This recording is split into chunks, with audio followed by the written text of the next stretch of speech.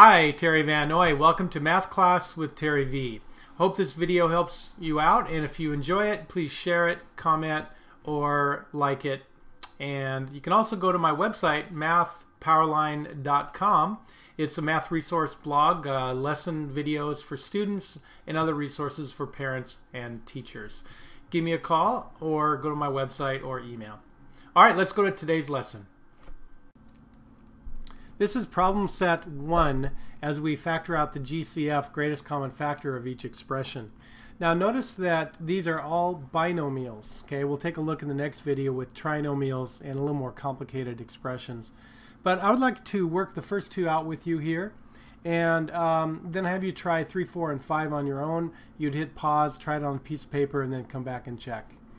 All right, now first of all, number one, you notice that um, both are negative terms, okay? That's a clue right now that you're going to pull the negative sign out, okay?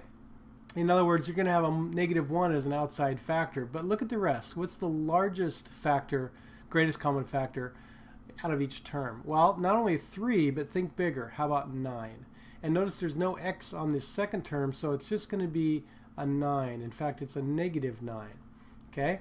Now, if I take a negative 1 factor out, in other words, negative sign in front of my GCF there, notice that that would make both terms positive. So, negative 9 times what gives you negative 9x? Well, that would just leave an x. Yep, very good. Negative 9 divided into negative 45 will give you a positive 5. Okay? So you want to check your answer by distributive property and multiplying. So negative 9 times x, negative 9x. Negative 9 times negative, or positive 5 would be negative 45. All right, so you have a monomial on the outside multiplied by a binomial. Okay? Now, anytime you're talking about factoring, you know you're going to be grouping something, so go ahead and put your parentheses in. And then look at each term, a 5n and a 30.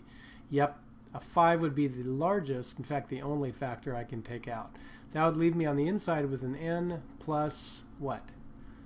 Right, plus 6, because 5 times n is 5n, 5 times 6 is 30. All right, take a piece of paper, hit pause, and you try 3, 4, and 5 and check back.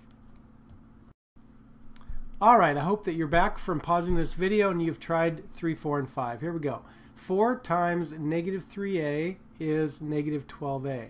Very good. That's your first part. 4 times 4 is, of course, 16. Notice the signs need to match. All right? Negative 3p squared times 10p squared. Notice p squared times p squared is p to the fourth. You're going to add the exponents. And negative 3 times 10 is negative 30. So you got the first term correct. All right.